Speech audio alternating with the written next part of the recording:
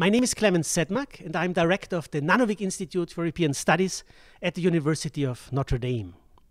Our institute's mission is very simple. We want to bring Notre Dame to Europe and Europe to Notre Dame. We do this recording today in a very special location, and we bring Europe and Notre Dame together in a very special way today. We are recording our conversation here at Kylemore Abbey in Ireland at Notre Dame's Global Center, a magical location. It is a conversation with three eminent scholars of modern European history, to my right, as you can obviously discover. They are not only eminent scholars, but also accomplished writers and prize winning authors. That is why we decided to call them our sages. Kylemore Entry, if you ever come to this wonderful place, has a plaque where it says Sedes Sapientiae. And today it has become true, thanks to our sages. A sage person has a great understanding of people, places, and situations and shows sound judgment. Our three sages here on stage have demonstrated this wisdom in their award winning books. I will introduce them in a minute. They've all been awarded the Laura Shannon Prize.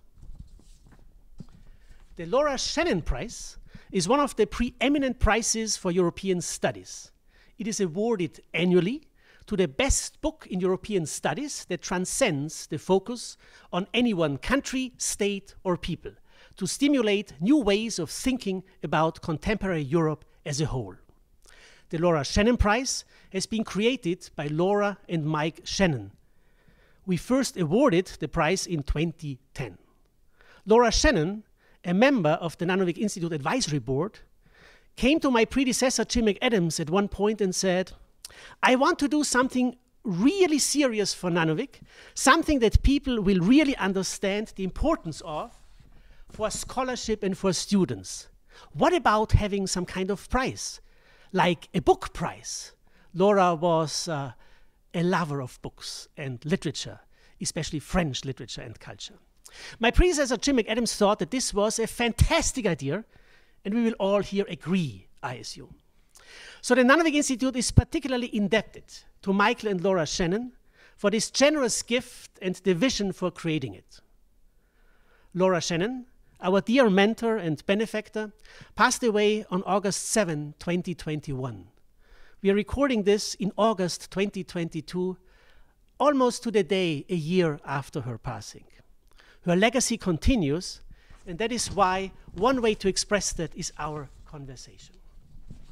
This conversation is part of a seminar which we called the Laura Shannon Residency in Kylemore. It brings together Laura Shannon Prize winners, graduate students, Notre Dame faculty members, and some special guests. It is a week long reflection on the art of writing and the art of storytelling. Led by our three sages, our three Laura Shannon Prize winners who are here with us, we want to explore the art of writing and the art of storytelling now, let me uh, introduce our three um, prize winning authors in the chronological order of their awards. Mark Thompson, to my right, is a reader in modern history at the University of East Anglia. He worked as a journalist and media researcher in Croatia, as a policy analyst and political officer for the UN's peacekeeping operations in former Yugoslavia, as the first secretary of the media task force at the Stability Pact for Southeastern Europe, and as the Balkans Program Director for the International uh, Crisis Group. He was awarded the 2016 Laura Shannon Prize for his book, Birth Certificate The Story of Danilo Kish. Welcome so much, Mark. Our second sage to the far right is Max Bergholz, Associate Professor of History at Concordia University in Montreal. Between 2011 and 2017, Max was Associate Director of the Institute for Genocide and Human Rights Studies at his university. He studied modern European history at Pittsburgh, where he discovered his interest in the Balkans and began to study Bosnian, Croatian, and Serbian languages. In 2019, he was awarded the Laura Shannon Prize for his book Violence as a Generative Force Identity, Nationalism, and Memory in a Balkan Community. Welcome, Max. Finally, Eleonory Gilburd is Associate Professor of History at the University of Chicago. She specializes in the history of modern Russia and the Soviet Union.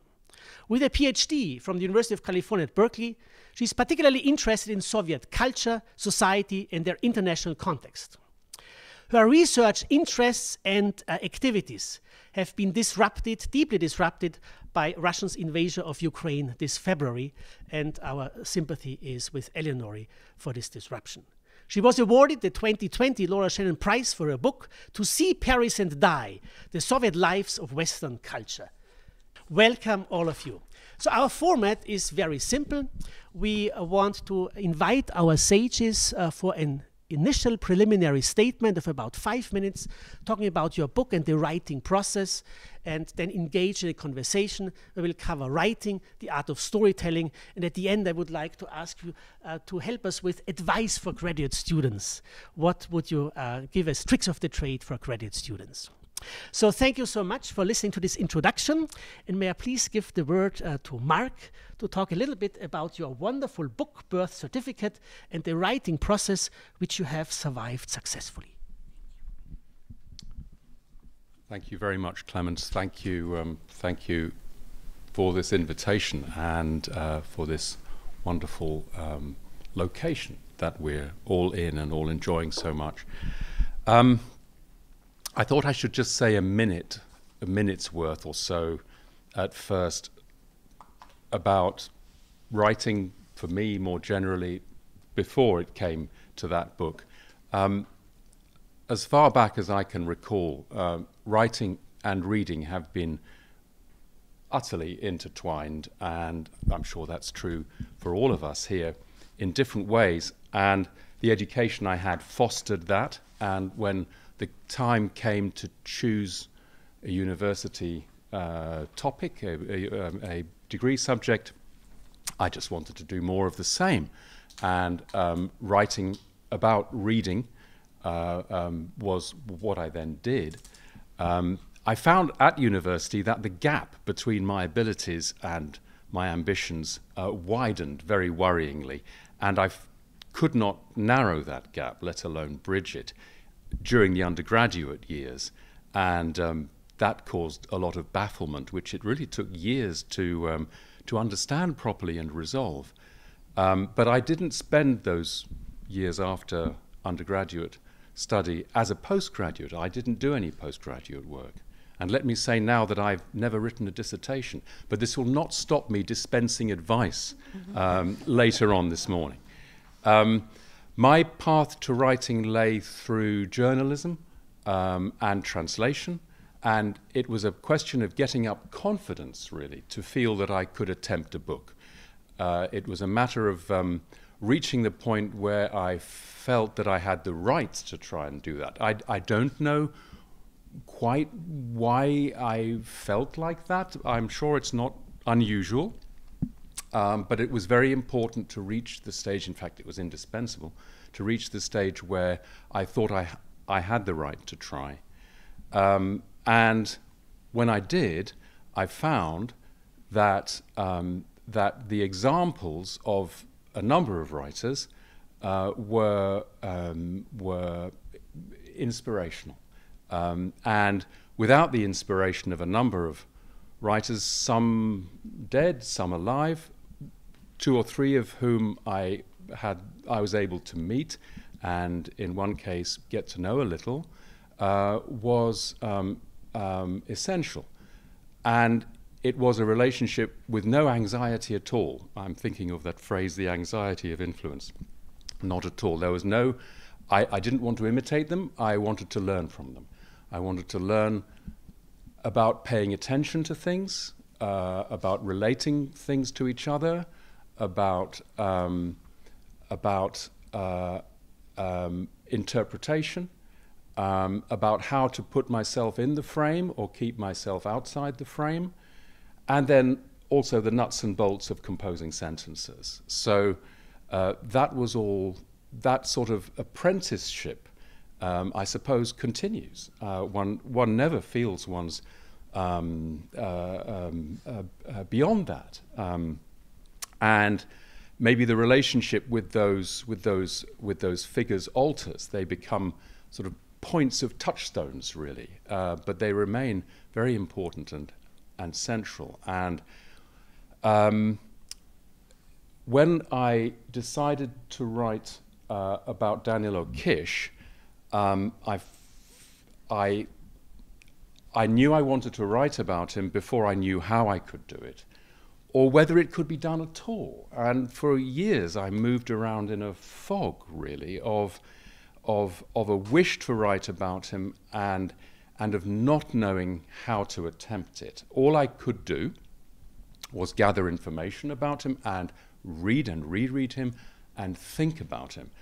And that was a great pleasure. It was really a pleasure to think about him, and, it's and it remained so throughout the long years when all this was gestating and, and sort of marinating. Um, I was working for the UN for some of that time. I, had, I was lucky I could move around that uh, sort of tormented country, and wherever I went, I would I would, I would look up people who knew him. And uh, so I, I, I, was keeping notes. Um, one day um, in Belgrade, after spending hours looking at Kish's books, which were kept in the uh, Serbian Academy of Sciences and Arts, I was walking around central Belgrade, just mulling over my entire situation, which was not promising regarding a book, and the point of all this was to write a book, when the idea came to me that I, I might structure it around this autobiographical text of his. And once I knew, once I decided to do that, everything else fell into place. So once the structural key had been found, um, uh, then it was a question of doing it. Then it was a question of joining up dots, and it was blissful to be in that position after so much uncertainty. Um, Perhaps that's five minutes? Wonderful. Would you like more? Okay, thank you. Wonderful. Thank you so much, Mark. So I take this insight. You have to get the confidence. I can write a book. You have to work towards this confidence. You learn from the example of inspirational writers, an apprenticeship, as you put it, that never ends in a sense. That's why I think it makes sense to talk about the art of writing, where Aristotle would remind us, well, you need um, um, role models and masters. And then you, you, you, mentioned gestating, marinating, mulling over, which I, I think is a uh, very nice way of describing the process until you reached, as you put it, the structural key. And once you found the structural key, it opened the door and then you walked just straight into this room of writing. Thank you so much, Mark. Max, how was your experience writing this beautiful book?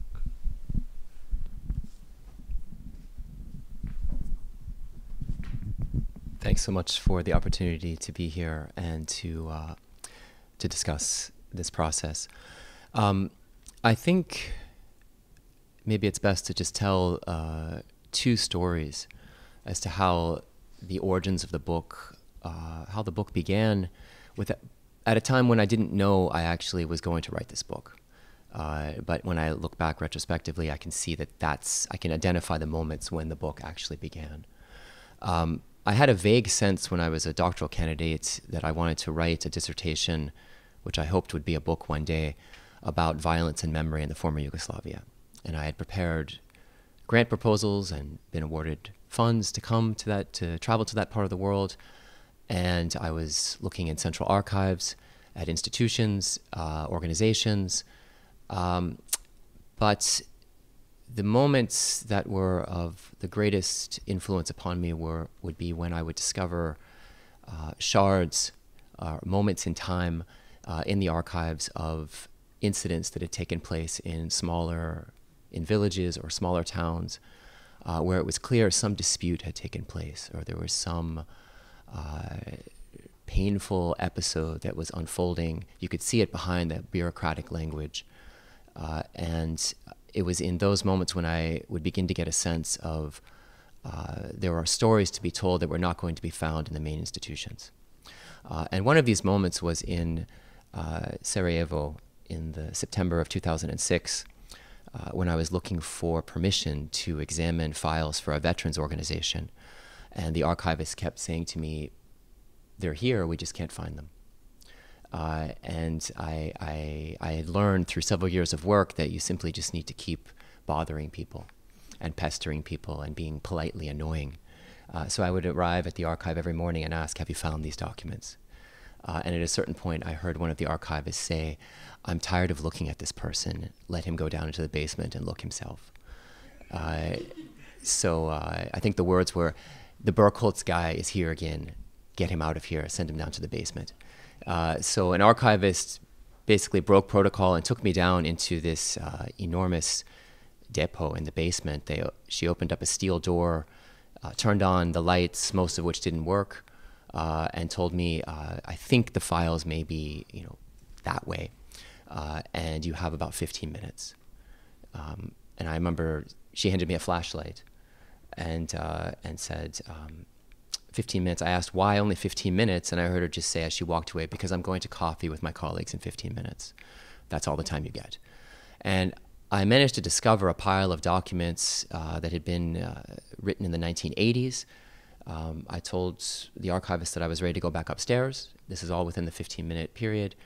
And as I began to read, I discovered the name of a town and information about a very serious uh, act of massacre that had taken place with language and words that initially, uh, my, my initial reaction was almost a physical sensation. Something terrible happened. It was not clear who had done what to whom, uh, but it already felt to me like there was a story within these three or four sentences that needed to be told. Uh, and I remember standing up in the reading room and walking around for a few minutes, almost feeling like there was electricity moving through my body. Uh, and this was, in retrospect, this is this is where I think the book began. Uh, a few days later, I decided to go to the central bus station in Sarajevo.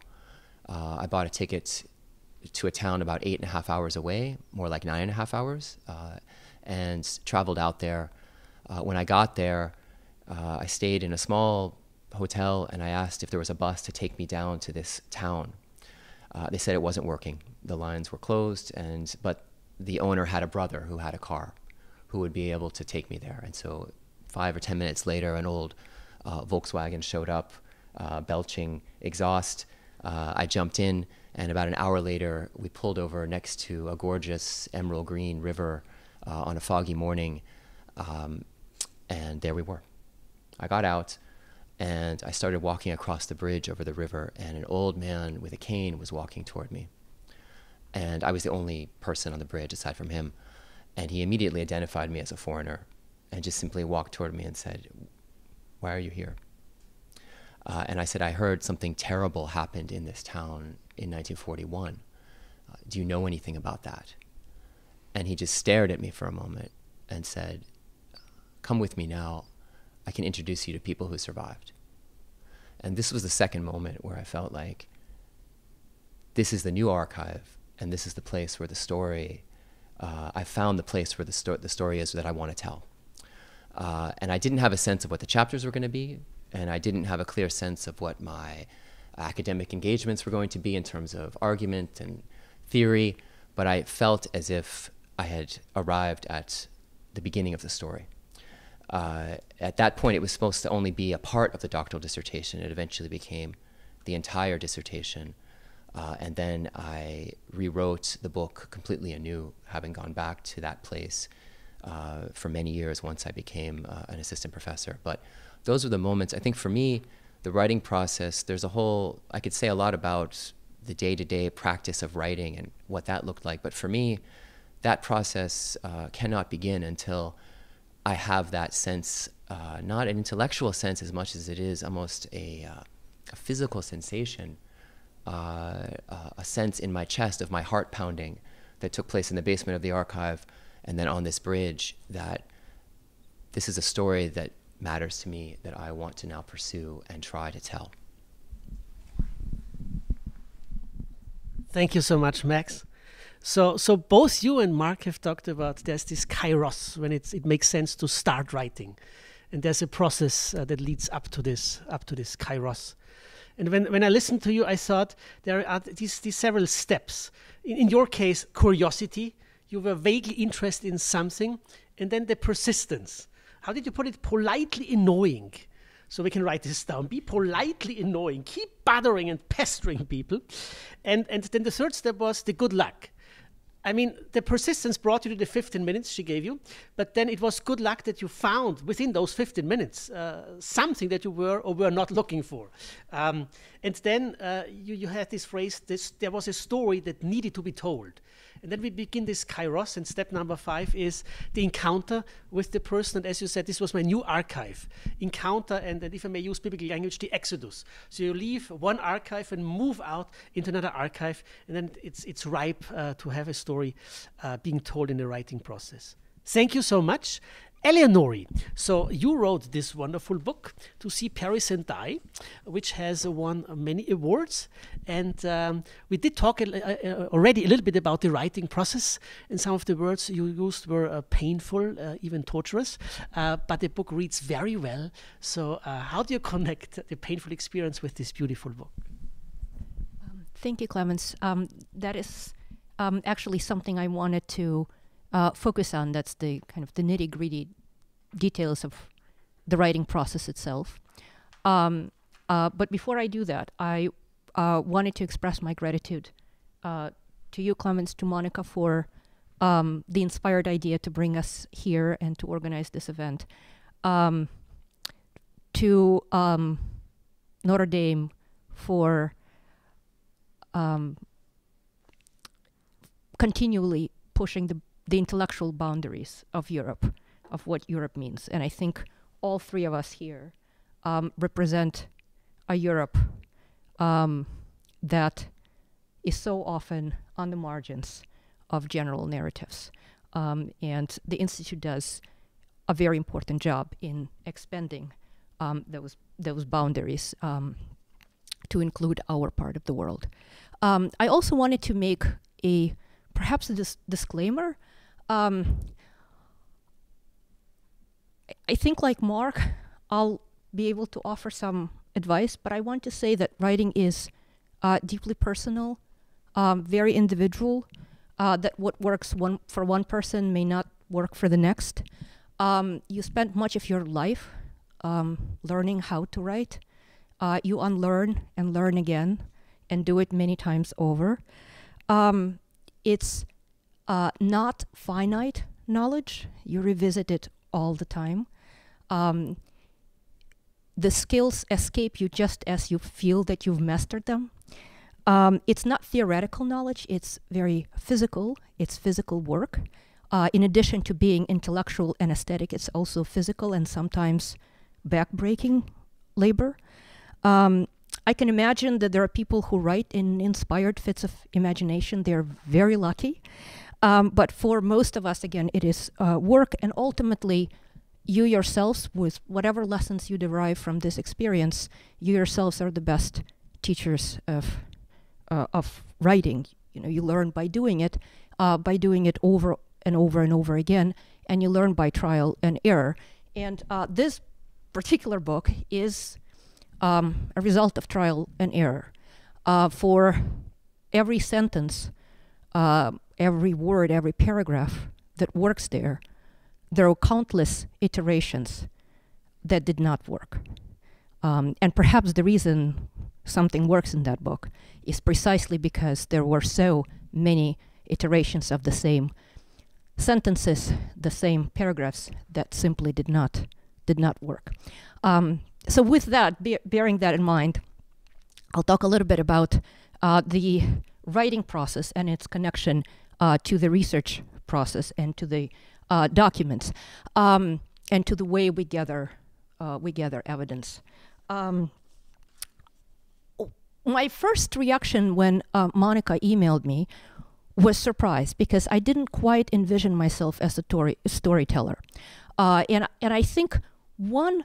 Uh, perhaps one or perhaps the main reason I didn't think of myself as a storyteller is that I was um, trained as a historian uh, at a time and in, in undergraduate and graduate programs uh, where we were under great pressure to articulate arguments, uh, to articulate uh, what is the point, uh, why are you telling this story. There were many episodes or stories that I was attached to, that I liked, that I found attractive, uh, emotionally appealing.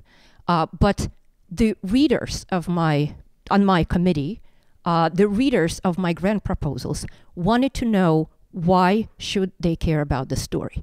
Uh, this is a particular genre that we are all encouraged, right, to uh, to think about, to explore, and to write in. Um, so in terms of argument rather than uh, narrative. Um, and I think this was at a time when argument and narrative uh, were the, the relationship between argument and narrative was debated in the historical profession. Uh, they were often seen as opposing ways of writing history. I think we've moved, as we talked the other day, we've moved past this opposition. Uh, but at that time, uh, the the two ways of uh, of creating uh, academic histories were storytelling, narrative, or argument thesis driven uh, histories. Um, my introduction to storytelling was largely in historiography courses. Uh, this is where we read Arlette Farge, Natalie Zemon Davis, Carlo Ginzburg, uh, Robert Darnton. This is where we read microhistories. Uh, if um, those of you who are familiar with the genre, it usually begins of microhistory. It begins with um, a lucky find with a file a file that sets you on a trail of looking for other evidence, uh, perhaps a court, court, file, an inqu inquisition file, um, a detective investigation, and then from that, it, you know, the story evolves and, and uh, you unearth uh, the past, as it were. Um, now, some years later, when I was working on my dissertation, I realized just how formative li that literature had been, uh, that historiographical literature had been for, uh, for my own work. Uh, but again, at the, at the, time when I was beginning, we were under the pressure to produce argument thesis driven work uh, and not pay so much attention to, uh, to narrative. Um, one of the uh, key debates at the time uh, was between two British historians, Lawrence Stone and Eric Hobsbawm, about the return of narrative. This is the 1980s, the return of narrative in the historical profession in academic writing. Um, and Lawrence, Lawrence Stone di diagnosed uh, the um, decline of big history, why, you know, big history, why history, and the emergence of narrative history. Uh, Stone defined storytelling by chronological arrangement and uh, coherence, uh, by concentration on people, uh, may not be great people, famous people, perhaps these are ordinary people, but nonetheless characterization, kind of a human interest story, uh, and uh, by a, a, history of events rather than social forces. So not necessarily epochal making events, but um, perhaps intimate events, personal, familial, uh, but events nonetheless. Um, and in response to um, Stone, Hobsbawm argued uh, for the possibility of generalization, that we can use events uh, and human interest stories uh, to illuminate the wider uh, world in which our actors uh, existed. So already, um, already before going to the archives, I kind of struggled with this question of narrative versus argument. Um, and already in the early stages, I began to link the organization, the structure uh, of my material to the arguments. Um, yesterday, we talked uh, a, a, little bit about uh, different ways of note keeping in the archives, different um, conditions of archival work, and different kind of idiosyncratic memories that are kind of how our memory as human beings, as researchers, functions. And then how and when our arguments evolve from these rather prosaic conditions. Um, so in the archives, I became convinced uh, that the way, and my subject, the subject of the book is Western texts uh, transmitted, mediated, translated in a very new uh, context. Um, I became convinced that the way that Western texts appeared in the Soviet Union, these channels of importation, were absolutely formative for reception. So summit diplomacy, uh, big time negotiations, international tensions uh, defined what boys and girls like me would be able to see in a local movie theater in a very rundown kind of place falling apart. Uh, but again, the big impersonal forces uh, that were happening somewhere out there in the world and that are part of textbooks uh, had uh, intimate effect on uh, cultural reception. Um, and this is when uh, the argument and organization, the structure itself and the argument uh, be- became welded in my mind. Uh, so I have this kind of tri-part structure that begins with uh, diplomacy, uh, proceeds to mediation and translation, and then finally looks um, at reception. And I try to, in most chapters, to carry through that structure. And one of the challenges um, of this kind of work um, is that um, the the documents I was, you know, microhistories begin with an event, a place, a file. I was looking at uh, at thousands of files, uh, all of which seemed equally important. So, how do you privilege and what do you privilege? Uh, I was looking moreover, and I, I should say, kind of as a as an aside, a confession that the sheer volume of the material made analyze, you know, analytical work and writing very, challenging. Um, but not only the sheer volume, the fact that uh, the sources were so different in nature. Right? Some were very intimate, soul bearing biographical, autobiographical letters. Uh, some were very impersonal. Some were top top-down decisions from the Central Committee. Some were bottom-up discussions in local party cells. Um, they all had different languages, the nature of the source. Some were visual materials, cinematic, uh, textual, material. Um, so the, the, different nature of the source was um, a particular challenge. Um, and I struggled with the question of um, do different do documents in different emotional registers require different narrative voices. Uh, this is perhaps when I started being a little more self-conscious about myself as a writer. What voice do I adopt when I talk about uh, diplomatic negotiations, minutes of diplomatic negotiations, versus a, a very personal letter from a teenager, for example. Um, in the end, I decided to maintain a consistent narrative voice, but at the same time, I read these sources, uh, different types of sources, of course, differently. Uh, and that difference required, or that narrat- those narrative strategies uh, required further further thinking. Um, I allowed the documents to guide uh, to guide my my reading and writing.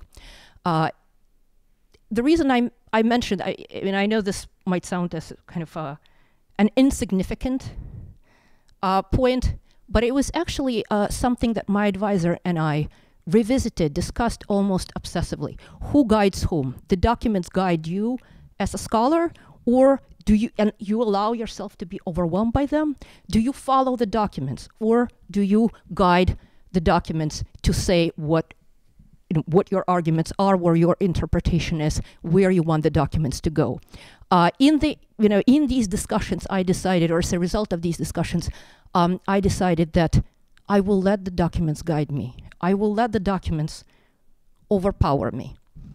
I will get lost in that forest uh, and hopefully emerge, make my way out of it. Um, so I, you know, it was a very conscious analytical strategy that the doc that I privilege the documents. I listen to my subjects.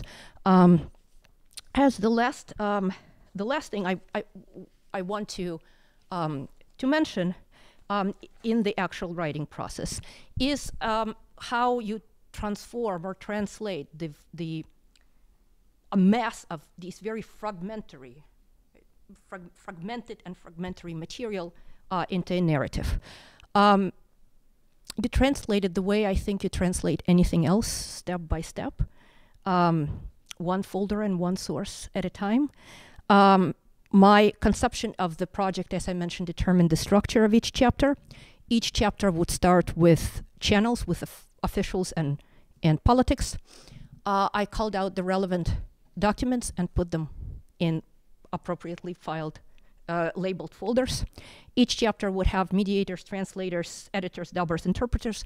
I called out those documents and put them, you know, labeled my folders, put them in there. Each chapter would have reception. I called out readers and viewers' letters, and I put them in appropriately labeled uh, folders. Now, it all sounds very neat, but it wasn't neat when I was doing it. Uh, some stories I couldn't tell because I did not have sufficient information. Some stories I felt begged to be written, but were outside this neat structure. Uh, chapter two, for those of you who are familiar with the book, deals completely steps outside of that structure, deals with a singular event. Um, I was told time and again by everybody who read the manuscript that I must drop that chapter. That that chapter has to go, that it simply doesn't fit, it doesn't belong. Publish it as an article, just get rid of it. I nodded. I thanked my readers. I kept the chapter.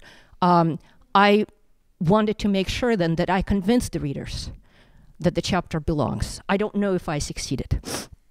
I started each chapter in the beginning. I wrote up one folder, one set of documents at a time, the next day, the next. I reread the documents every day. I reread my own writing uh, from the day before every day. And as I reread, I asked myself how each example all or each little story contribute to the big story. Right? What is the connection? Uh, if it didn't fit, I had to cut it. If I was so attached to it that I couldn't cut, cut it, I highlighted it and returned to it with the same question. Um, I saved every every cut I made, and sometimes I returned certain cuts. Many years later, I returned them to the text.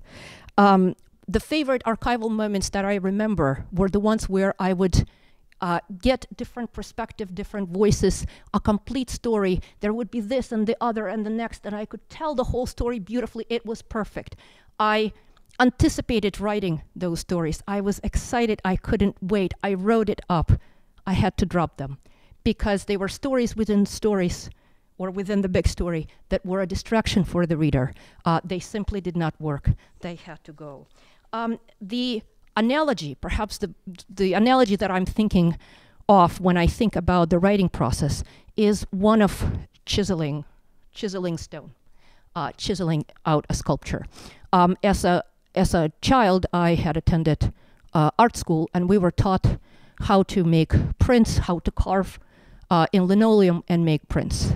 Uh, you draw your picture, you erase and draw it again, uh, and uh, until you get you know the, the vision to the, pa- the the picture on the on the paper to match the vision, and then you transfer it onto the linoleum and you start carving one little bit by little bit. Uh, some are big areas, uh, and you need uh, a different carving tool. You need a, a, a larger carving uh, carving tool. Uh, some are very precise uh, and detailed ones, and you need a, a finer cutting tool. Um, and sometimes the cutting takes so very long that you forget what the big picture looked like. And then you go back to your drawing uh, and you revive it in your memory and you remember when you, why you wanted to make uh, that picture. Um, in other words, all kinds of life experiences are, are useful when you're writing. Thank you so much, Eleonory. Um, so much, so much content here. What kind of knowledge uh, is the knowledge we need to write? And you said it's personal, it's elusive, it's not theoretical. So that, that's an interesting question, what kind of knowledge uh, it is. The question of the framing, why tell the story? There may be a personal response to this question and a, and a wider scholarly response to this question. Uh, the aspect of the structure, and, and the way you described your process, you, you have your structure, and then things could at least be uh, ordered, if not falling in place. The, the question of guidance who guides whom? I was intrigued by that. Uh, do the documents guide me, or do I guide the documents? And then the question of order, consistency. And I love this idea of we're looking for metaphors for writing, chiseling and carving. I remember Ludwig Wittgenstein, who had uh, six months uh, very close from here. Um, talked about wrestling, writing as wrestling, and trying to find a redeeming word. And so uh, I would like to ask Mark and Max, having listened to Eleonory, whether you have any reactions or thoughts about the writing process. Well, oh, thank you. Um, in response to Eleonory's uh, comments, what uh, several several thoughts. Firstly, with regards to the notorious chapter two, you um, you had a hunch, you had your own private judgment, which I'm calling a hunch, and you trusted it, and you stuck with it, and that was that was the right thing to do. Um, uh, their their advice was well meant, but but it couldn't help you over that. Uh, in fact, perhaps it did help you by stiffening your resistance and and your defense of your hunch. Um, I felt reading Eleonory's uh, extraordinary book that it's a very generous work. Um, I often, in a slightly soppy way, think about writing in relation to generosity. Um, uh, I'm making little of it here, but I seriously mean it. Uh, there is some important connection, and and I thought that I thought her book was a very generous work. The sheer depth of research, which must have been confusing and painful at times because you're always aware of the other things you could be doing with your time, um, uh, entirely benefits the reader. Uh, um, um, and it is actually, if I can say, worn lightly. Um, and that seems to me a vital uh, attribute of writing to which one warms, um, that uh, in the humanities, that that there needs to be a grace about about about about the learning. Um, uh, so uh, we learn. I mean, Eleonory knows the value of black market copies of Russian translations of The Catcher in the Rye in the 1970s. And we learn that, but it's, we learn it en passant when it fits in a sentence, when it's something that we need to know in order to fully understand the, uh, um, uh, the matter that's being discussed. So I was thinking of trusting the hunch, and um, I'm thinking of the generosity, uh, um, which is for which you pay a price, and we are the beneficiaries. So thank you. I'm so glad that we are videotaping that. Writing to which one warms. There needs to be a grace about the learning. So we will keep that in mind. Thank you, Mark. Yeah, thanks so much for um, everything you said. It was really interesting to listen to. I think I was thinking about two of the kind of uh, dichotomies you raised. Uh, you know, the idea that uh, while you were doing your graduate work, um, some of your advisors were saying, you know, do we write narrative or do we write argument driven history as, as if it can be either one or the other uh, or do we do we guide the documents or the documents guide us uh, and I mean, I think you know the profession is filled with these kinds of debates uh, that are, in my view, kind of false dichotomies. Um, uh, people take up kind of hardline positions uh, behind one or the other, and uh, maybe there's there's there's like analytical leverage to be gained by pushing that position to a certain point. But then, at a certain point, uh, for me at least, in the writing of my book. Um, to tell a story means, you know, the, the writer has to guide the documents to some extent um, you have to see uh, some kind of drama, storyline, narrative, almost. Uh, you know, I, I sometimes uh, thought as I was walking around the area where I was doing my research and as I was reading my documents, as if, you know, could I make this story into a film? And if so, what would it look like? Uh, and what would be the kind of sensations that I would want to emerge out of the sentences? Um, at the same time, you know, I'm not a filmmaker. I'm not. Um, I'm not writing literature. Uh, I want the my book to be argument driven, uh, but I also want it to be dramatic. And how can those two elements, can those two elements be combined? And if the profession or those who are in authoritative positions are saying to me, pick one or the other, I don't think it was until I put the dissertation aside for a few years uh, and I began, uh, I began thinking about uh, dramatic storytelling and at the same time reading a lot of argument driven social science literature. So, I, in a sense, I left history behind uh, while, while focusing on my own ideas about storytelling and trying to learn about uh, scholarship that, in many ways, is far more argument driven than, than, than the, the, discipline of history, like political science and sociology.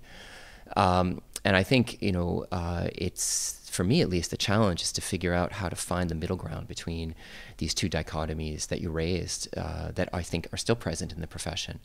Um, and, and it's one that I think as historians we have to engage with because to publish books means we have to appeal to readers. And if we're just telling, if we're just trying to articulate arguments and discuss theory, uh, uh, and, you know, kind of the more technical side, in a sense, of the profession, that's not going to attract readers who are not, you know, that small group of colleagues that would read our work no matter how we go about doing it. Um, so I think you know the, the, the thinking of, of a way to guide those documents into a story that is deeply compelling, while at the same time taking up a position in the field, uh, an argument-driven position, like that is the great challenge. Um, and uh, that that would be the advice I would offer to anyone starting: is that those dichotomies uh, need to be uh, understood as to when they emerge. You know, at different times in the discipline, uh, the debates need to be read, uh, and I think to some extent learn from from them what you can, and then in a sense leave them behind, because it's the it's the fusion. it's a finding a way to, to bridge those, to keep both elements together, I, I identify that in listening to like that is the challenge that I I became most interested in in writing my book. Um, but it was it was very stimulating to listen to you talk. Thanks. Thank you. Thank you. Thank, thank, thank you, Mark, and thank you, Max. Um, I I absolutely agree with you. Um, with you, Max. Uh, this was a challenge for me. I wanted to do both. Um, I agree with you when you say that we are we should be aware of these dichotomies, but in some sense they're they're false, uh, and we ideally we'd like to do both and we'd like to do both in a way that isn't that doesn't doesn't bear the device that isn't that isn't too forceful for the reader that that sits easily with the reader right where the the reader is is so engaged with the story we tell that our arguments are convincing without having to be overwhelming uh, overpowering and and perhaps not even too obvious. Um, so I, I absolutely agree with you. Um, I, oh yeah, uh, we, we talked about two dichotomies, narrative versus argument and who guides whom. And, and, before we talk about stories more explicitly, and, and Eleanor talked a lot about storytelling already, uh, could we just uh, visit two further dichotomies when it comes to the writing process with uh, special attention to the situation of graduate students? And one is the dichotomy between kairos and time pressure. So listening to Mark and, and, and Maxwell, there is this kairos. Now it's ripe. I got the confidence that I can write the book, and now I feel there's a story that needs to be told. But you know, there is this whatever clock is ticking. You know, the, the PhD years clock, the tenure clock, whatever clock is ticking. So how do you connect this dichotomy? Kairos, waiting for the kairos, which maybe in theological language, grace filled and beyond our control. But then, you know, the external pressures, that's one dichotomy. And the other is um, being in the flow and showing discipline. So, so both uh, Mark and Max said, well, then it kind of you, you got the structural key, and then everything fell into place. That's that's what you said, and also Max, in the sense that um, in a previous conversation said it was almost ecstatic that the writing. I don't say that it was not only pain, also painful for you, but there was this moment of well, now it's flowing. At the same time, this question of do you have to be disciplined? Do you have to get yourself to writing, even you if you don't feel like. Some people need a pitch black room uh, to get some writing done. Others would prefer Kylemore, Ireland. Just look outside. Um, and so, how do you deal with these dichotomies of, of kairos versus external pressures and flow versus discipline? Any insights, friends? Regarding graduate students? Regarding those dichotomies, whatever wisdom you want to give us, Mark. Wisdom? You set you set the bar so high. I, I mean, my feeling. I've already told you that I haven't written a dissertation. It seems to me that writing a dissertation is a job and should be treated as a job. You're doing this for an external reason. You're doing this for certification, and uh, and um, it might you might regard it as a peculiar kind of certification, but that is what it is, and therefore um, I suppose, be as matter of fact about it as you're able to be, given the given the fact that you are churning with ideas and operating in a field with with um, with few, as it were, sort of very fixed markers.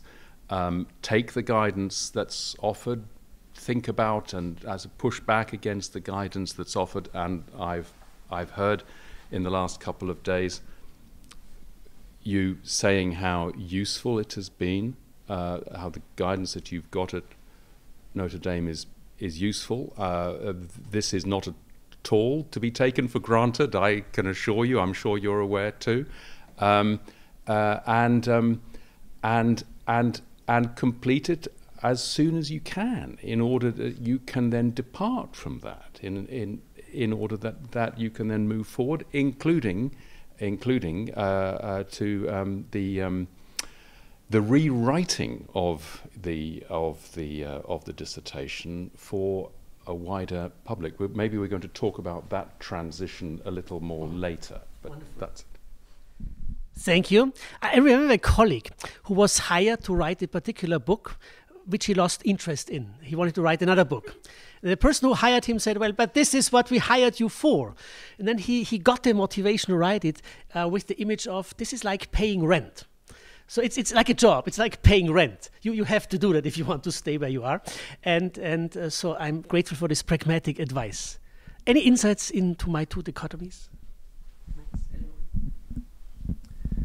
I don't know if I if I'll address everything, uh, but just listening to the conversation the last few minutes, two two things came to mind. I mean, I think um, I was going to say being a historian, but uh, being a writer of uh, telling human stories and trying to base them on some degree of uh, truth and reality, so social science or uh, historical research, I mean, inherently requires. Um, it's not just a job.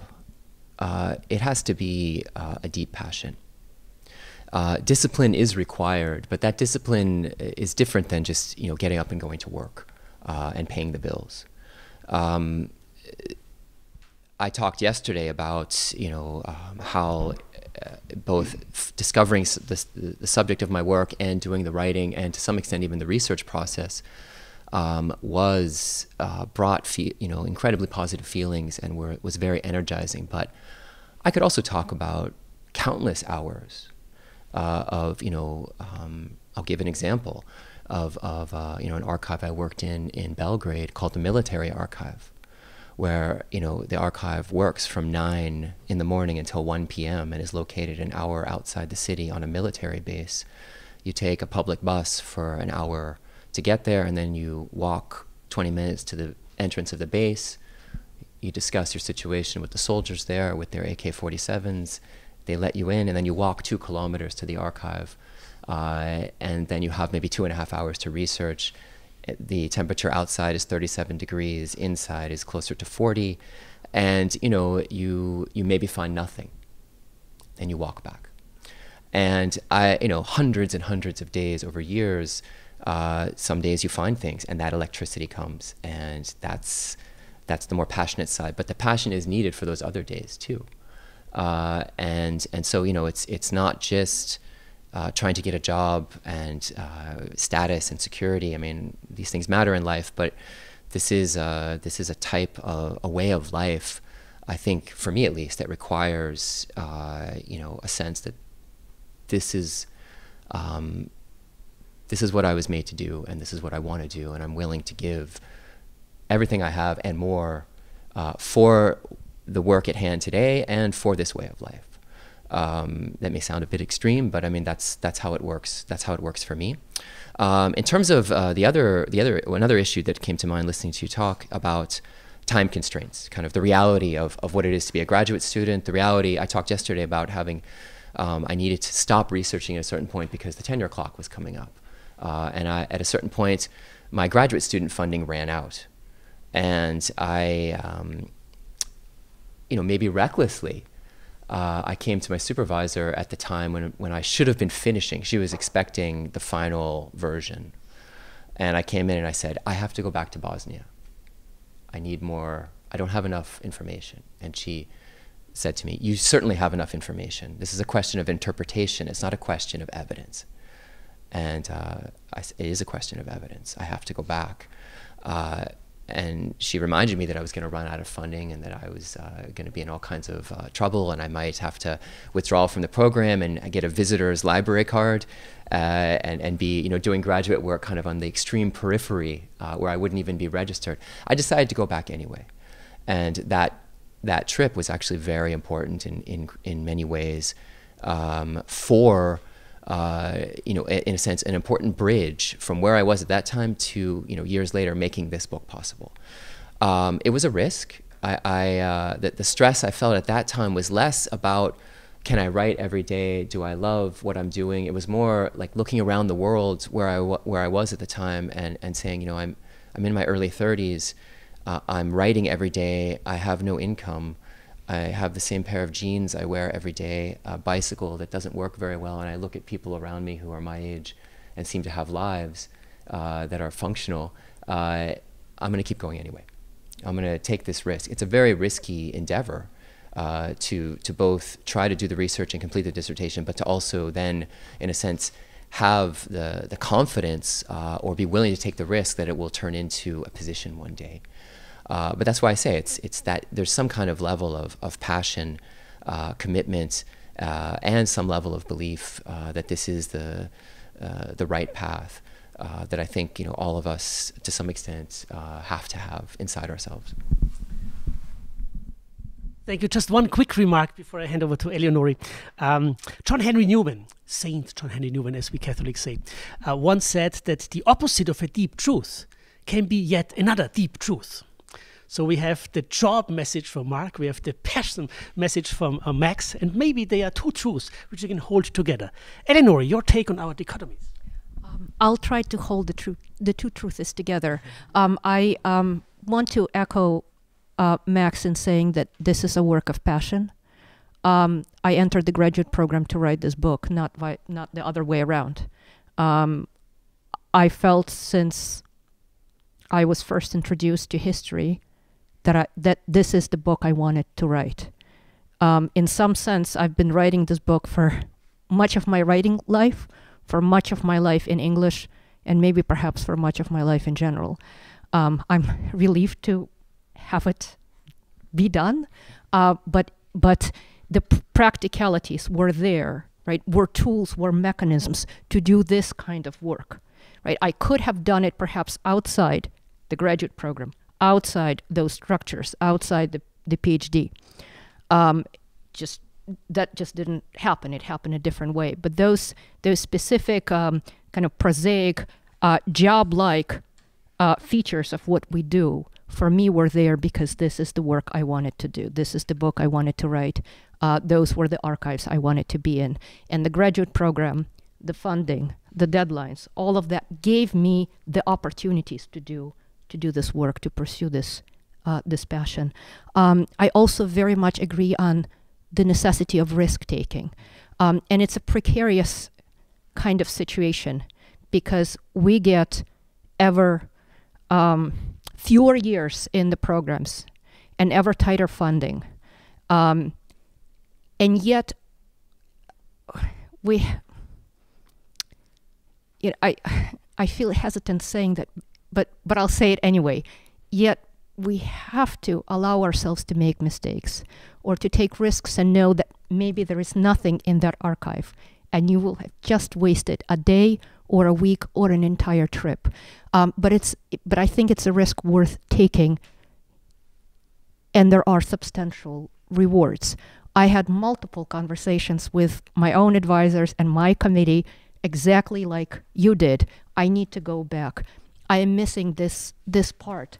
Uh, this these documents don't line up. I need something else. Sometimes I'd say, I don't know exactly what I need, but these things don't fall into place together. I need to go back. And I'd be told, no, you don't need to go back. We don't have the funding for you to go back. Uh, work with what you have.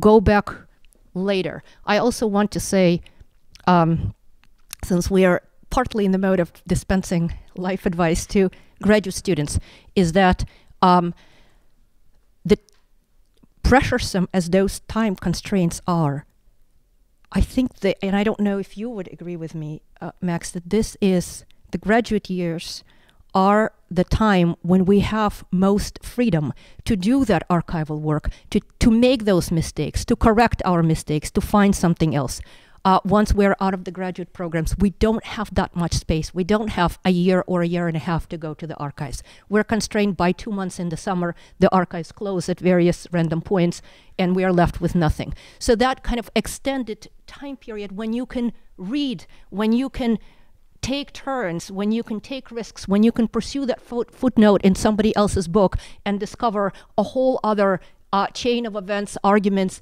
and logics. Um, I, I think these years in the graduate program are the ideal time uh, when we do that. Uh, we have a lot less room to make mistakes once we are done with our degrees. Um, I also wanted to talk about the, the kind of the flow and discipline, uh, and very much echo what um, Clemens said. Um, it is a passion, but it's also a job in the sense that, at least for me, I had to sit down and do it, and I had to do it every day. Um, sometimes it wasn't going, so I would read the documents and try to get into the world of my subjects and try to immerse myself ever, ever, ever more in that world, in the hopes that the writing would flow. But, but here's the thing: it's not gonna flow until you open your laptop and sit in front of your screen. Uh, you have to be physically there and you have to look at the screen and you have to start typing or outlining or reading for anything to happen. So it's it is passion, it is a job. It's another one perhaps of those faulty dichotomies. Um, and each of us is going to negotiate those dichotomies differently. Um, it's always a negotiation process. Um, and that process changes. You know, it, it changes in diff- different stages of your career, different stages of your lives, your obligations. But we we are always thinking about those things, always negotiating it. Wonderful. So let's just, um, as a concluding message of our reflection on writing, say these four dichotomies that we talked about um, um, argument versus narrative, uh, guidance through documents, guidance of documents, kairos versus external pressures, flow versus discipline, maybe false dichotomies and have to be negotiated constantly on an individual level. When I listened to Eleonory, um, the words risk, reward, freedom resonated with me. The, the risk taking means there may be uh, resources wasted, there may be mistakes made. Uh, rewards means, and I, am thinking of this electricity that you mentioned. I mean, you need to be refueled through, through some kind of rewarding experiences. So there, there may be walks through the desert, and then there's an oasis of success, and and and freedom in the sense of you you have the the space and the time to experiment a little bit, and that came uh, that brought one term to my mind namely resilience. That the writing process requires a certain resilience from the people engaged in the process. And as we know from resilience studies people are resilient if they have a sense of direction and uh, a sense of where they want to go in, in, in the end. Meaning meaning uh, I, I, do want to have a book at, at some point if it's if it's you know if, if Max were completely free, this book would have been uh, published maybe four years later, if it was not the tenure clock. And and who knows what what Eleonory would have done with the, the you know the, the sheer amount and vastness of the material. Um, and if you're okay with that, I would like to move now explicitly to storytelling. How could I say no, Eleonory? One, one, one little thing as you were talking came to mind.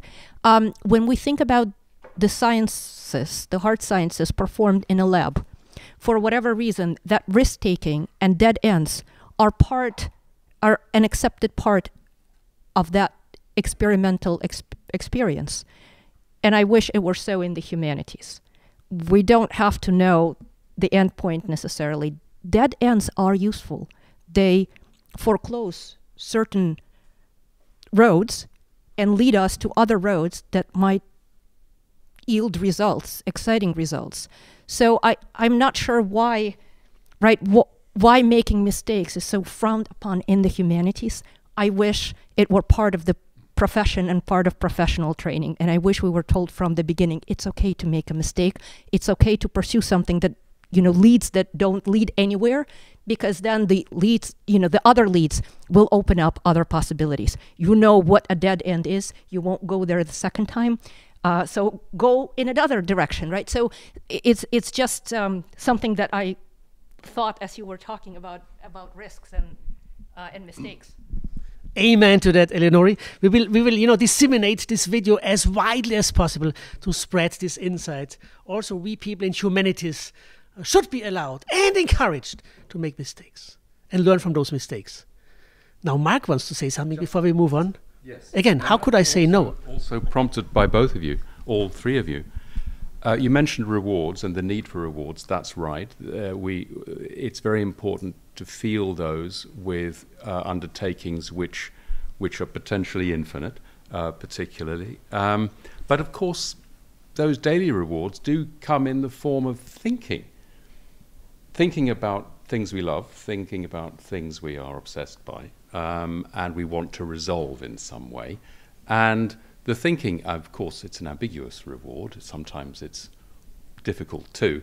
A wonderful American critic, uh, Lizzie Hardwick, said at one point, she was very witty, she said at one point, Oh, writing is so difficult. It's the only time in your life when you have to think. And um, I think, you know, that's, we, we are, it's something we're drawn back to doing, even when it's painful, because it is so intensely rewarding when it's when something's working, when something's working. And you don't get to that uh, if you don't open your laptop, as Eleonory said. Wonderful. Maybe an invitation to our viewers and the audience here. There's this little text by George Steiner 10 possible reasons for the sadness of thought. It's a very gloomy text. He basically says, uh, Why are we getting depressed when we start thinking about things? And the invitation is take the very same points he makes and say, This is why thinking makes us happy. One argument he has the, the waste of thoughts. I mean, you are thinking thoughts that have been thought by so many people before you. What a waste! Everybody should be only allowed two thoughts per day or maybe per month, depending on the country, I guess. And um, the idea that, that you think something which has been thought before should be happiness driving because it brings us together as a community. Just as a side, and this will probably cut it out of the video, which is a shame, um, because it's a beautiful text 10 possible reasons for the sadness of thought. Storytelling, storytelling. Um, the art of storytelling uh, shines through in all these three books in a, in a wonderful way and in very different and personal ways. And could we maybe uh, reflect in the first round on, on four dimensions of storytelling? The framing, the beginning, the cutting, and the ending. The framing, the beginning, the cutting, and the ending. And, and by framing, I mean, how do you draw people into the story? And if Eleonory allows, I will read in my poor English um, the first paragraph of your introduction as an example of framing of framing. Before you begin the story, you, you, you basically tell the reader, well, this is kind of the, the, the, large view. And the first paragraph of Eleonory's book, in case you do not know this by heart, is In the mid 1950s, hundreds of Western books, films, paintings, and sounds arrived in the Soviet Union. They arrived during its remarkable opening to the world after Stalin's death and the xenophobia of his last decade.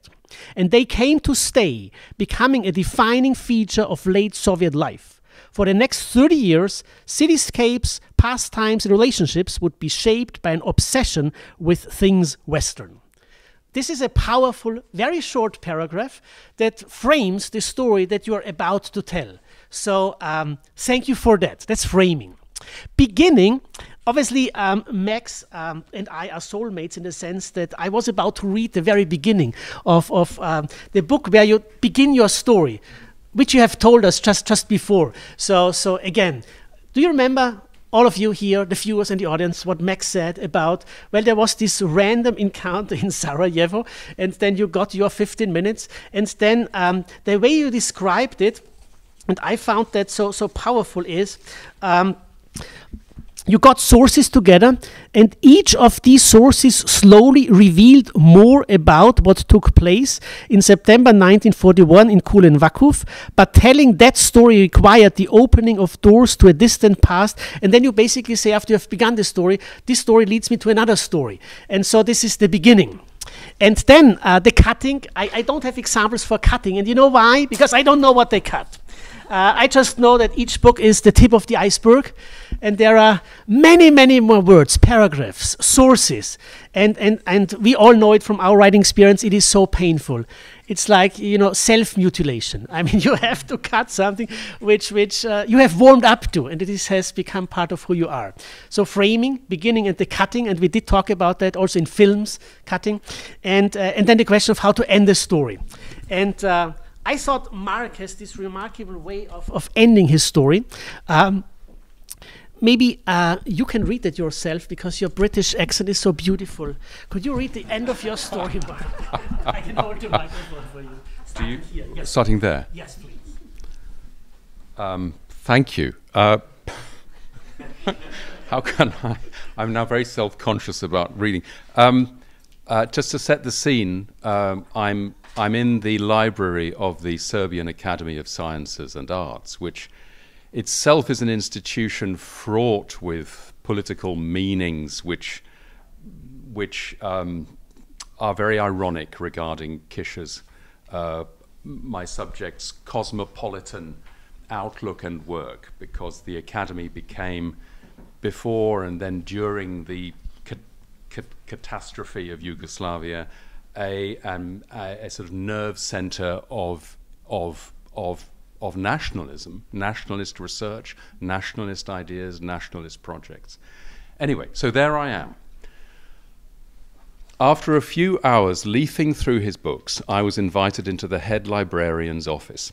As a Serb from Kosovo, she was, and sorry, this is just a year or two or three after the NATO had bombed and uh, bombed Kosovo, and Kosovo had been had been abandoned by the Serbian armed forces. As a Serb from Kosovo, she was keen to challenge Western misconce- misconceptions about Serb Albanian relations in that contested province. When my attention wandered to a trolley loaded with huge leather tomes next to her book, she smiled for the first time.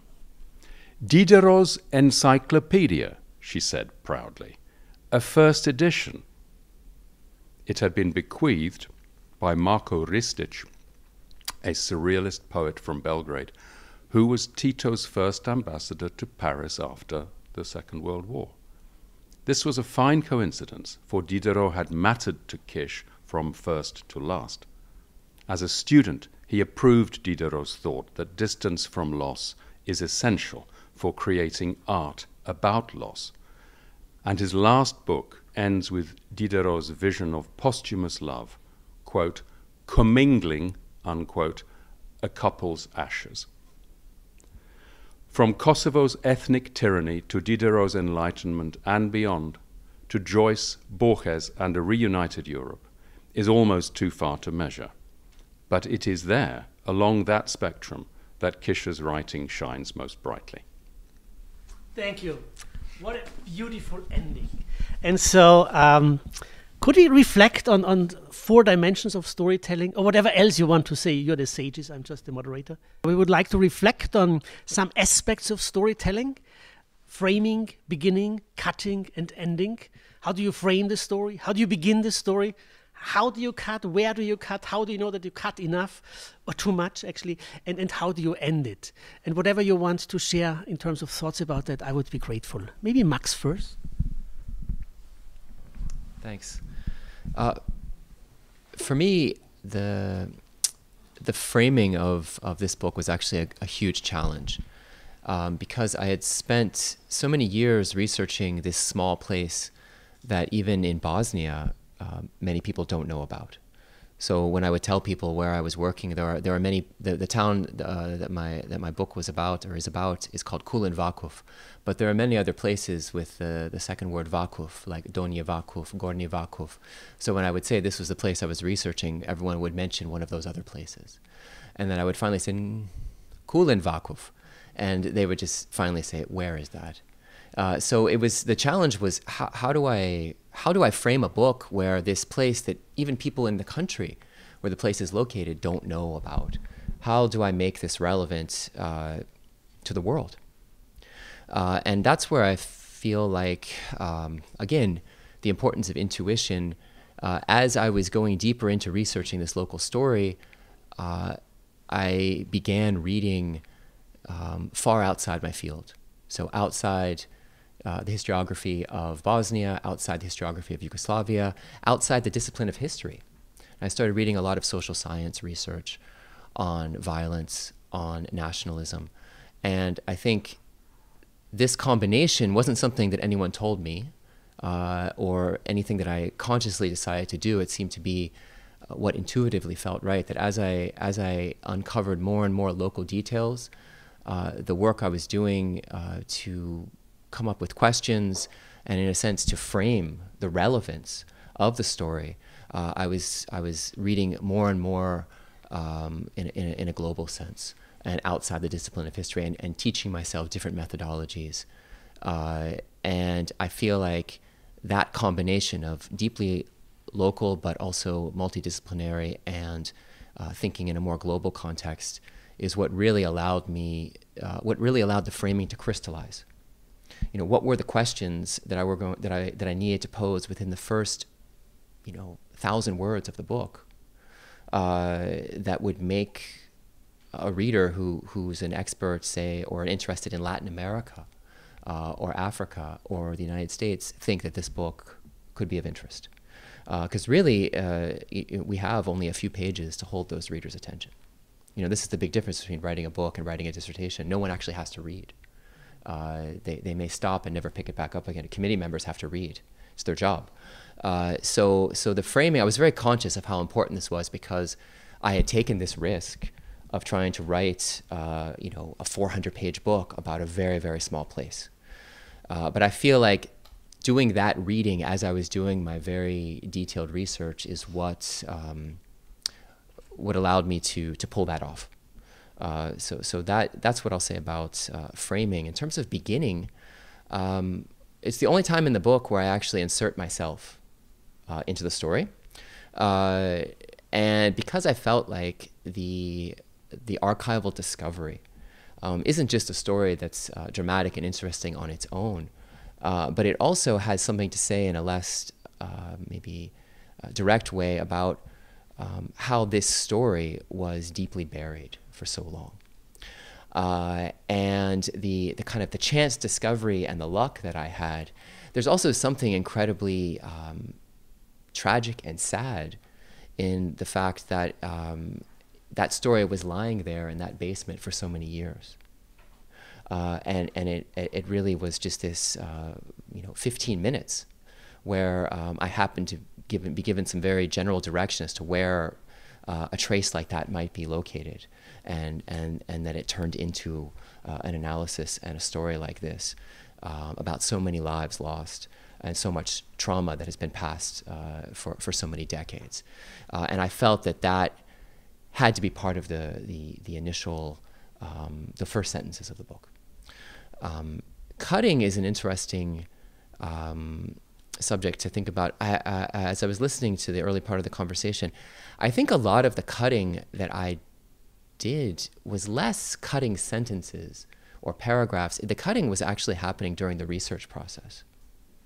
Um, for me, um, as I learned more about the story, uh, and as the storyline and the, the, the, narrative began to crystallize in my in my head, uh, I think I began to get a clearer sense as to which sources mattered and which ones didn't. Uh, and I was talking uh, with with uh, the graduate students yesterday about this. When I wrote the dissertation, I went through every document that I had uncovered, translated what I thought was necessary, put them in chronological order, wrote hundreds of pages of notes. Like over half a year, I prepared like these meticulous notes uh, and then um, I, I, that was kind of my, my map for the entire dissertation. When I wrote the book, which was not based on the dissertation, I assembled it like almost like puzzle pieces with no outline. I just simply would read documents and I knew where they would fit. I somehow knew where they would fit. Uh, and I feel like that decision-making uh, pr process at that point was really uh, another part of the cutting. Uh, you know, cutting, cutting in a, in a more stereotypical sense is like erasing sentences, writing something and then cutting. Uh, but it's also in decisions about which sources uh, fit and which ones don't.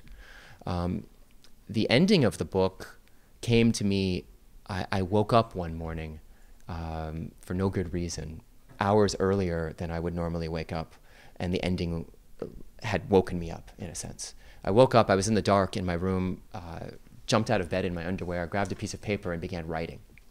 And uh, uh, and I there's a little bit of light kind of creeping through the curtains, and three moments in time, long after the story I was telling in my book had finished, came to me, uh, and I thought to myself, the book needs to end with me tracking some of the big, uh, more abstract processes of violence and nationalism and trauma uh, and memory uh, in more recent periods of time.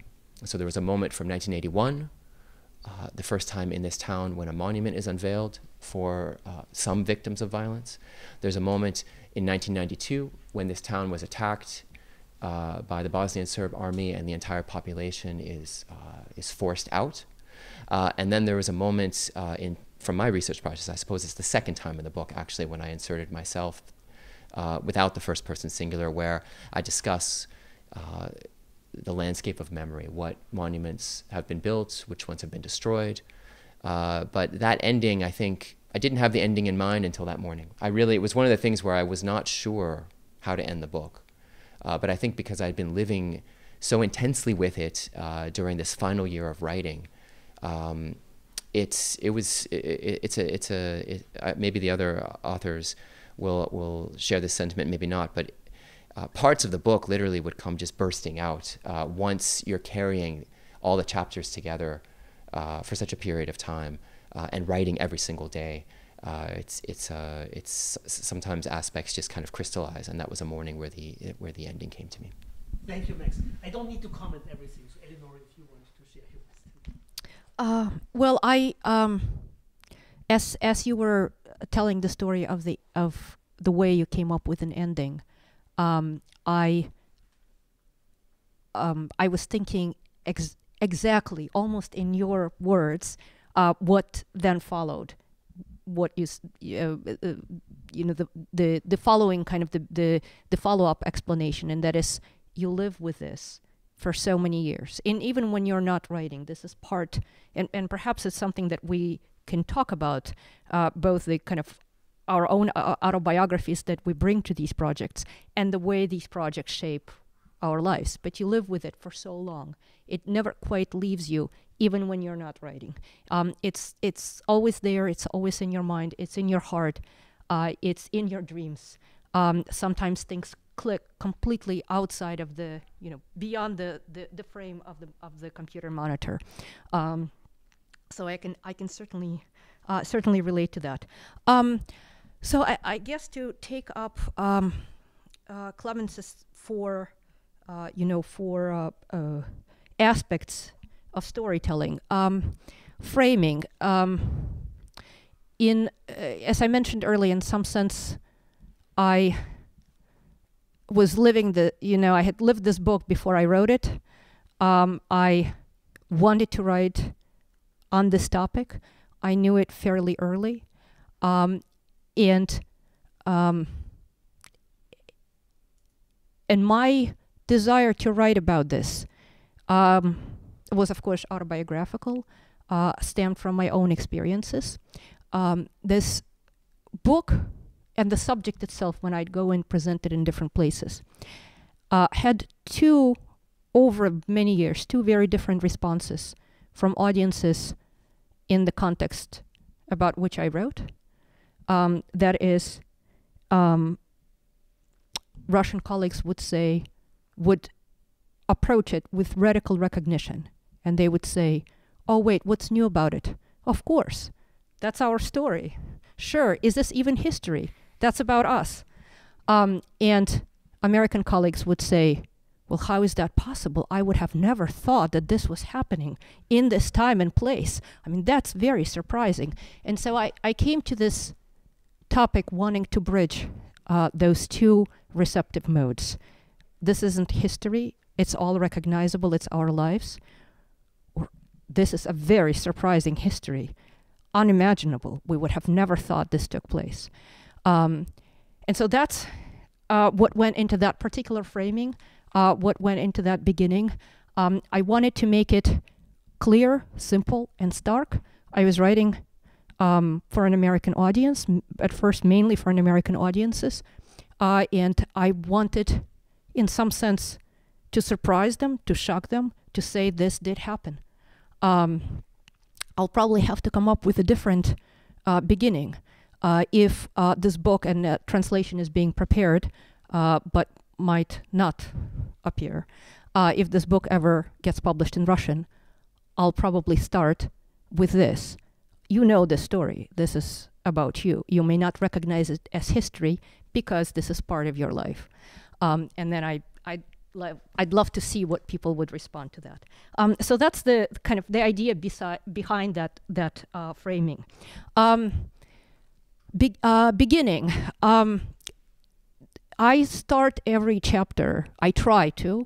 Um, I don't know how successful I am in doing so, but I try to start every chapter uh, by building on the previous one. It was very important for me to uh, do that for the sake of coherence because, again, I, the, the documents were so very, um, very fragmented. Uh, they were so very, in some sense, almost. Um, yeah, they, they, you know, they they existed in so many different uh, emotional and factual registers um, that I had to impose in various rhetorical ways on the page. Not only my ma- imagination carrying the argument through, but in rhetorical ways I had to impose coherence. So I, I try to start every chapter by building on the ending of the previous one to carry that storyline forward. Um, cutting, I probably have more to say than than anybody ever wants to know. Um, I spent probably as much time, if not more, cutting than writing. Um, I wrote repetitively. Um, I cut and then wrote repetitively again. Um, I first cut uh, repetitive examples. Uh, to know where I had repetitive examples, I read the text aloud and did reverse outlining. So after everything is written, I outline again based on what is written to see where I'm being repetitive because I wasn't, it wasn't jumping at me. Um, so I cut repetitive examples, and then I cut repetitive citations. Um, and then I realized that cutting is not a mechanical uh, work; it's actually rewriting. Cuts produce gaps you have to fill those gaps. Those gaps, when you fill, establish new connections. You have to make new transitions. You have to make things fit in a different way. That means rewriting the, sometimes rewriting the paragraphs entirely. Uh, and then I cut words. I, at the very end, I was going through the text and reading it aloud, and I think reading your own text aloud to yourself is important. Um, things jump out at you that, that you don't see when it's on the page, you need to hear it um, or I needed to hear it. Um, I so of nearly every word I asked, is it necessary? Is it the only way I can express this idea or this story? If there are other ways, then it wasn't the right way to put it. Um, again, somebody else might have done a different job, might have found different words, uh, but at the end, I left the project feeling that this is the only way I can do it.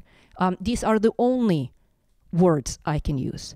Again, I ask that question Is this necessary? Is this the only um, kind of um, unique way to state uh, my point? Um, and then ending. It's interesting, Max, that you said that um, you inserted yourself in the beginning. I inserted myself in the end. Um, after everything was uh, was done and written, I felt that I felt that I constrained myself too much. I wanted to abandon all, and again, I didn't use the first the first person, um, but the epilogue is the only place uh, where I enmesh my own story with the story of my subjects.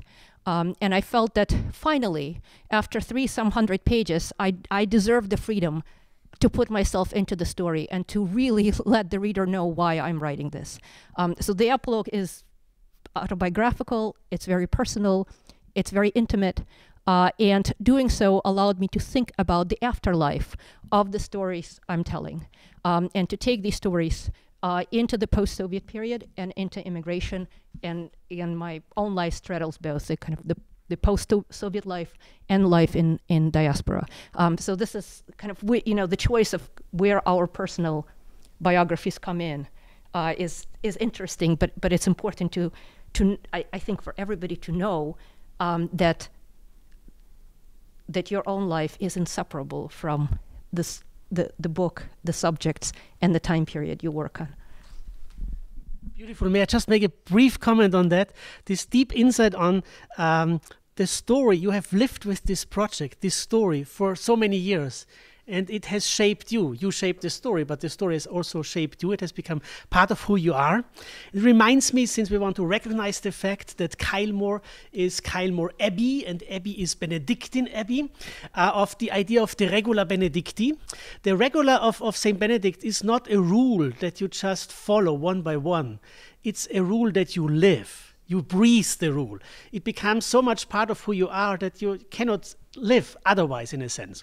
And so there's this sense of that you don't only tell the story, but it's you who becomes the story, especially if you if you spend so many years and uh, cul-de-sac and, and frustrations and risks and mistakes with, with building this story. So, uh, any insights, Sage Mark, on, on framing, beginning, cutting, and ending? Nothing but insights, Clemens. I, uh, um, my task was always to engage people uh, in the um, life and work uh, of a writer from a country which um, had ceased to exist uh, before I wrote a word, um, uh, who wrote in a language that had formally ceased to exist, um, and who didn't have a very extensive readership in his own language or its successor languages. Um, uh, he had passionate admirers, and there was a sense of significance around his work, which was widely felt at sort of higher, higher cultural levels. But but it wasn't a mass readership, and and and very small anglophone readership.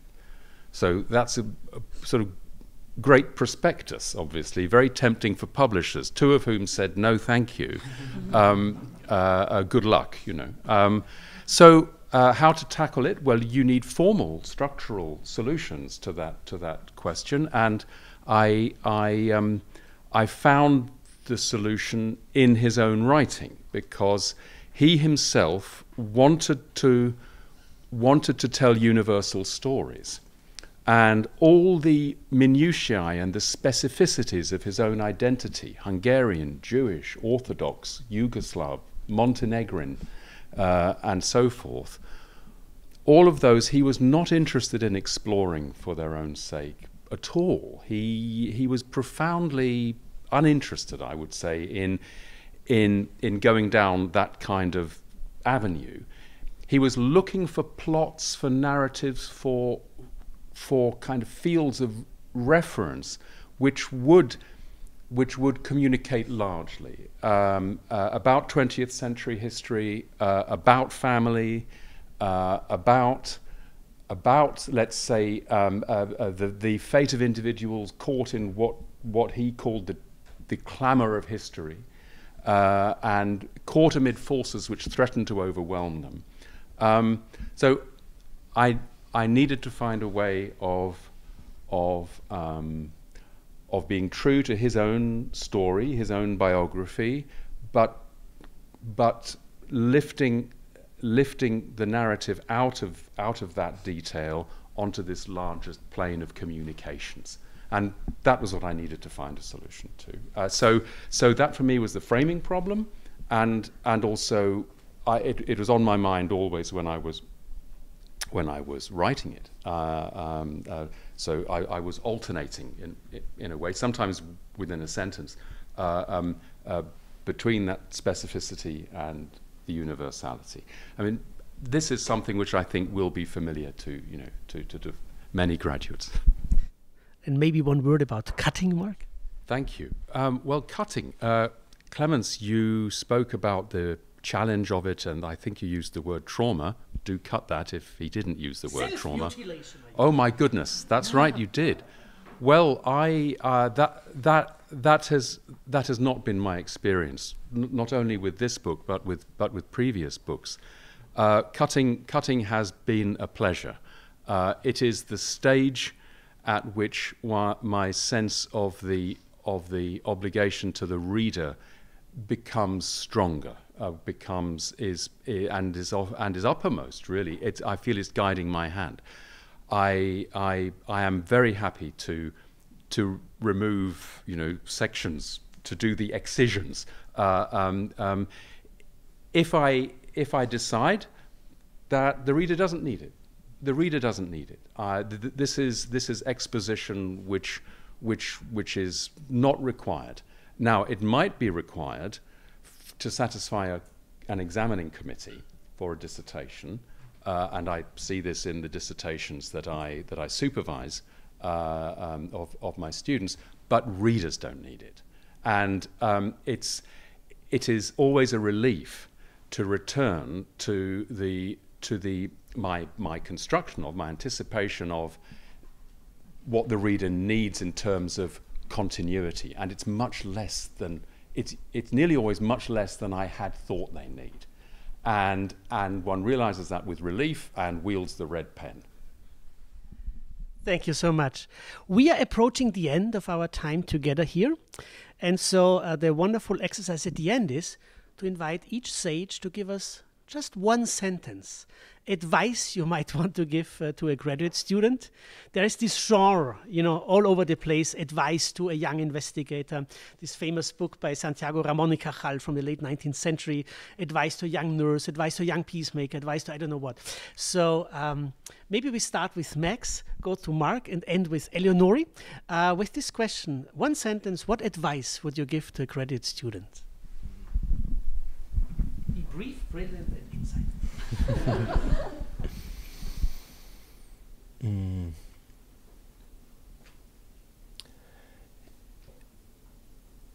You've taken on a very risky endeavor, so you should go for broke.